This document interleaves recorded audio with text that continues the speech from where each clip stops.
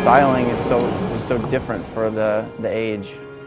It was a great driving car. The suspension on it, it handled very, very well. Uh, you could get them with uh, the convertible top as well as a hard top. So they were kind of a year-round car. The 113 uh, has the nickname of Pagoda, and it's because of the roof. It has a, the Pagoda designed roof, which means that the, the middle is sunken and the outsides are actually raised.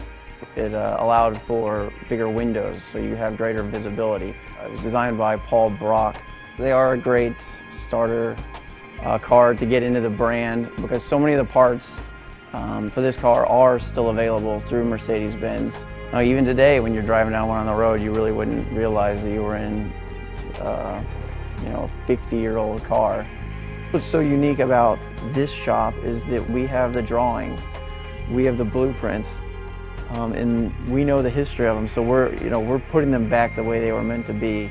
We don't want to turn, you know, send anything out the door that we're not 100% satisfied with.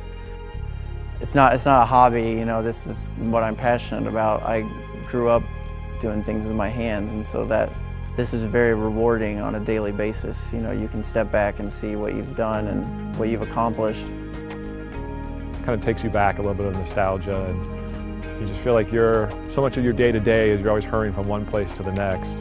Um, and I feel like I'm really never in a hurry in anywhere in this car. So it's a very kind of relaxing, sort of peaceful experience. The car and I are basically the same age.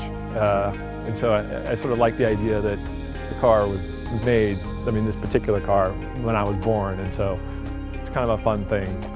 Uh, I would say probably first and foremost, I always thought it was a very beautiful car. And uh, you know, in terms of wanting a car, you know, that I'd be able to drive on a regular basis. I loved sort of the 60s time period and the sort of understated, I think, elegance and beauty to the car. Well, I certainly like to think the future of the car will certainly be with me for you know, many, many years to come. Cars now, are, whether it be a lease or whatever, there's a certain disposableness to them, and I like the idea of hopefully having the car for the rest of my life. Um, certainly at some point, you know, I have a young son now, but as he gets older, uh, I'd love for him to be able to experience it and drive it.